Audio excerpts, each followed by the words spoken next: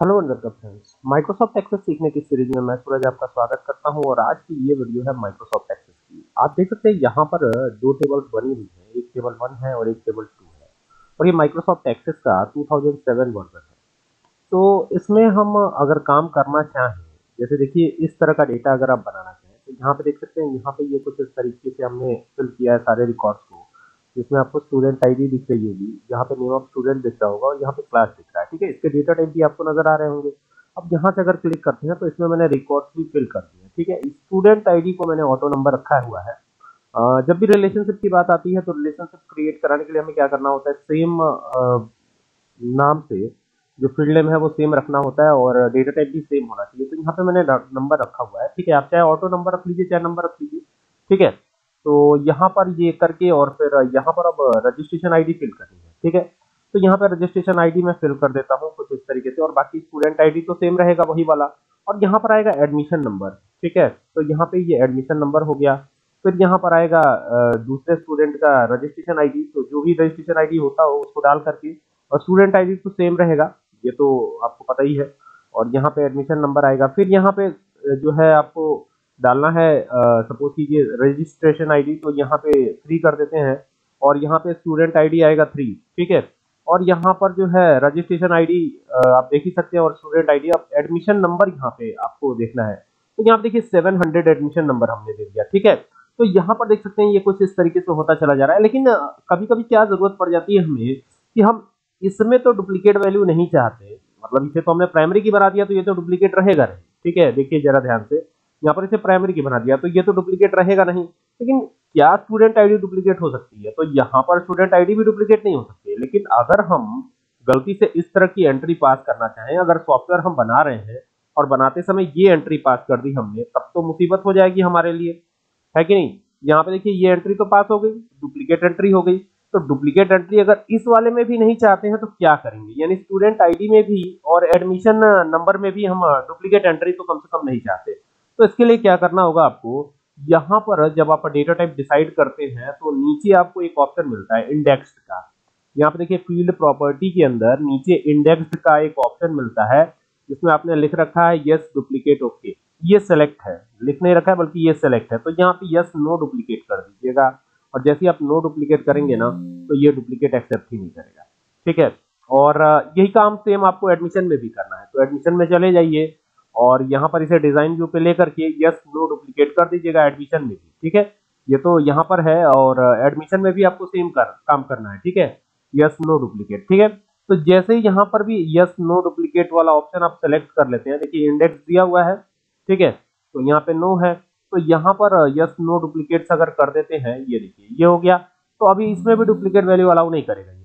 भले ही प्राइमरी की नहीं बनाया तो क्या हुआ, लेकिन इसमें भी डुप्लीकेट अलाउ नहीं करेगा। तो अब यहाँ पर डुप्लीकेट वैल्यू डाल सकते हैं क्या? किसी में भी।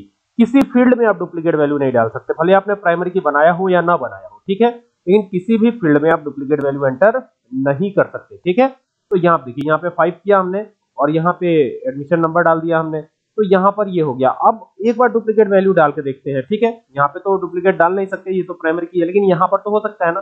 तो यहाँ पे कर दिया हमने। और यहाँ पे करने के बाद यहाँ पर डुप्लीकेट नहीं डालते केवल हम स्टूडेंट आईडी में ही डुप्लीकेट डालते हैं तो यहाँ पर ये डुप्लीकेट एक्सेप्ट नहीं करेगा। ठीक है, ये वो वे है, ये वो तरीका है जिससे आप डुप्लीकेट वैल्यू को अवॉइड कर सकते हैं, हटा सकते हैं। ठीक है? तो आई होप की बात समझ इसे हम क्या कहेंगे? इसे हम कंपोजिट की कहेंगे। ठीक है, ये तो प्राइमरी की हो गई, और अगर डुप्लीकेट आता है तो फॉरेन की हो जाएगा। और ये क्या कहलाएगा? ये कहलाएगा आपका कंपोजिट की क्या बोलेंगे इसे? कंपोजिट की बोलेंगे। ठीक है? अब दोनों के बीच में रिलेशनशिप आप आसानी के साथ क्रिएट करा सकते हैं, ठीक है?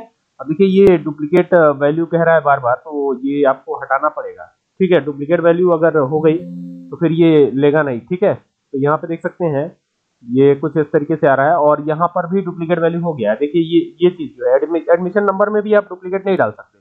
कुछ भी डालिए, लेकिन डुप्लीकेट नहीं होना चाहिए। तो अभी ये एक्सेप्ट कर गया, और इन दोनों को हम सेव करके और एक बार चला लेते हैं। तो यहाँ से इन दोनों को सेव किया हमने और सेव करके इसे पहले तो क्लोज करेंगे। तो ये क्लोज कर दिया और क्लोज करने के बाद अब जब रिलेशनशिप क्रिएट कराना होगा तो सीधा सीधा डेटाबेस टूल्स पे जाएँगे रिलेशनशिप पे जाएँगे और यहाँ से जाकर के इन दोनों को इस तरीके से ले लेंगे। ये ले लिया। अब यहाँ पर स्टूडेंट आईडी का रिलेशनशिप स्टूडेंट आईडी से करवा दीजिए और यहाँ इन तीनों पर टिक कर दीजिए। तो ये वन टू वन रिलेशनशिप यहाँ पे बिल्ड हो रही है। वन टू वन ठीक है? और यहाँ पर यहाँ पर खाली आप प्राइमरी की जैसी चीज़ें रख करके या कंपोजिट की रख करके तो सॉफ्टवेयर बना नहीं सकते ना। तो यहाँ पर जब आप रिलेशनशिप क्रिएट कराने जाएँगे तो आपको ये एरर आएगा। वन टू वन रिलेशनशिप भले ही आप क्रिएट करा रहे हैं यहाँ पे, लेकिन ये एरर आएगा। ये देख सकते हैं, ये एरर आ रहा है तो अब ये एरर कैसे सही होगा? तो पहले आपको ध्यान रखना है कि यहाँ पर टेबल टू के अंदर आप देखेंगे तो यहाँ पर यस नो डुप्लीकेट तो है ही है। ये चीज़ तो आपको समझनी ही चाहिए। और यहाँ पर देखिएगा तो यहाँ पर जितने रिकॉर्ड होने चाहिए, उतने ही रिकॉर्ड टेबल वन में भी। पहले टेबल वन का रिकॉर्ड देख लीजिए, आठ रिकॉर्ड है। तो आपको यहाँ पर भी आठ रिकॉर्ड रखने पड़ेंगे। तभी ये रिलेशनशिप क्रिएट होगा, ठीक है? अब देखिए, अब इसमें रिलेशनशिप में क्रिएट करके दिखाता हूँ। दोबारा से यहाँ से जाएँगे वापस डेटाबेस टूल्स पर रिलेशनशिप पर। तो ये स्टूडेंट आईडी का स्टूडेंट आईडी से रिलेशनशिप क्रिएट हो जाएगा, ठीक है? और यहाँ पर ये वन टू मेनी रिलेशनशिप है, लेकिन अभी हम क्या करेंगे? ये देखिए, ये one to many relationship create हो जाएगा। ये तो पहले तो टेबल को क्लोज करना होगा, जिसकी वजह से ये रिलेशनशिप क्रिएट नहीं हो रहा है तो यहाँ से टेबल को आप क्लोज कर दीजिएगा। क्लोज करके, अब देखिए वन टू वन ही क्रिएट कराना हो तो इसके लिए क्या करेंगे? तो इसके लिए पहले तो इसको क्लोज करना होगा, क्योंकि यहाँ पर अगर हम इस तरीके से करते हैं तो ये one to many relationship create होगा। देखिए, नीचे लिखा हुआ आ रहा है वन टू मेनी और ये रिलेशनशिप क्रिएट भी हो जाएगा। तो देखिए रिलेशनशिप क्रिएट हो गया। लेकिन हम क्या चाहते हैं, ये वन टू वन रिलेशनशिप चाहते हैं। तो इसको हम डिलीट करेंगे यहाँ से और डिलीट करके वन टू वन रिलेशनशिप के लिए यहाँ पर जाकर के और ये डिज़ाइन व्यू पे लेंगे सबसे पहला काम, ठीक है? और यहाँ पर आप नीचे आएँगे तो आप देखेंगे यस नो डुप्लीकेट्स यहाँ पे दिया गया है और ये स्टूडेंट आईडी में भी आप आप देखेंगे यहाँ पे तो ये इंडेक्स को मेंशन नहीं किया गया है। तो यहाँ पे आप मेंशन कर देते हैं इसमें भी यस नो डुप्लीकेट ठीक है?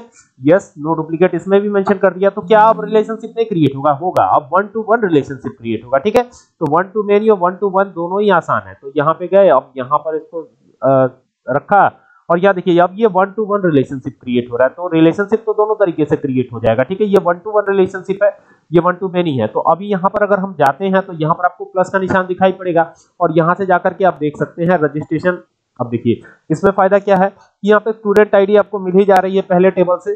दूसरा नेम ऑफ़ स्टूडेंट भी मिल रहा है, उनका क्लास भी मिल रहा है, ठीक है? अगर आप यहाँ पे जाएँगे तो इस तरीके से आपको ये भी मिलेगा, ठीक है? ये देख रहे हैं कि ये किस सेक्शन क्या है, ये भी दिखेगा, ठीक है? तो बस आपको यहाँ पे क्लिक करना होगा और सेक्शन भी ये दिखाएगा। यहाँ पर रजिस्ट्रेशन आईडी और एडमिशन नंबर भी यहाँ पे आपको शो कर जाएगा, ठीक है? सारी चीज़ें एक साथ आ रही है और सारी चीज़ें यूनिक है। तो इस तरीके से आप कर सकते हैं। और ये सॉफ्टवेयर बनाने में काफ़ी हेल्पफुल है। One to one relationship one to many relationship तो दोनों ही में डिफरेंस क्लियर हो गया होगा आई होप की। तो ये तो अब क्लियर ही है कि वन टू मेनी और वन टू वन रिलेशनशिप कैसे क्रिएट करेंगे। तो मैंने आपको सारी चीज़ें इसमें बताई हैं कि कैसे अगर आप टेबल ओपन रखेंगे तो माइक्रोसॉफ्ट एक्सेस में रिलेशनशिप आप क्रिएट ही नहीं करा पाएँगे, ठीक है? अगर टेबल ओपन है तो रिलेशनशिप नहीं होगा फिर, ठीक है? अगर आप रिलेशनशिप क्रिएट कराना चाहते हैं तो सबसे पहले तो टेबल को बंद कर दीजिए, ठीक है? और रिलेशनशिप में दो कॉमन फ़ील्ड का होना भी ज़रूरी है, ठीक है? कौन कौन सा? जैसे मान लीजिए यहाँ पे मैंने स्टूडेंट आईडी और स्टूडेंट आईडी के बीच में रिलेशनशिप क्रिएट करा है तो देखिए यहाँ पर स्टूडेंट आईडी भी सेम है, यहाँ पर भी सेम है, ठीक है? भले ही आप उसे कंपोजिट की बना दें सेकंड वाले टेबल में, यहाँ पर ये प्राइमरी की है और यहाँ पर ये कंपोजिट की है। कंपोजिट की यानी कि ये भी जो है, क्या करेगा? ये भी डुप्लीकेट वैल्यू एक्सेप्ट नहीं करेगा, लेकिन ये as a primary key work करेगा, लेकिन प्राइमरी की नहीं होगा। प्राइमरी की तो सिर्फ़ स्टूडेंट आईडी ही है, ठीक है? लेकिन दोनों के डेटा टाइप भी सेम होने चाहिए। यहाँ पर मैंने आपको ये भी दिखाया कि दोनों के डेटा टाइप भी किस प्रकार से सेम होने चाहिए, तभी ये रिलेशनशिप बिल्ड होगी, नहीं तो रिलेशनशिप आप बिल्ड नहीं कर पाएँगे, ठीक है? तो इन सब बातों का आपको बखूबी ध्यान देना है, बहुत अच्छे से ध्यान देना है। अगर इन सब बातों का आप ध्यान देंगे तो ही आगे काम कर पाएँगे, सही से और रिलेशनशिप बिल्ड कर पा पाएँगे, ठीक है? तो अगर आपको ये वीडियो पसंद आया तो इसे शेयर ज़रूर कीजिएगा और साथ ही साथ हमारे चैनल जिसका नाम है कंप्यूटर एंड एक्सेस हमसे सब्सक्राइब करना ना भूलिएगा और वीडियो को शेयर कीजिएगा। Thank you for watching this video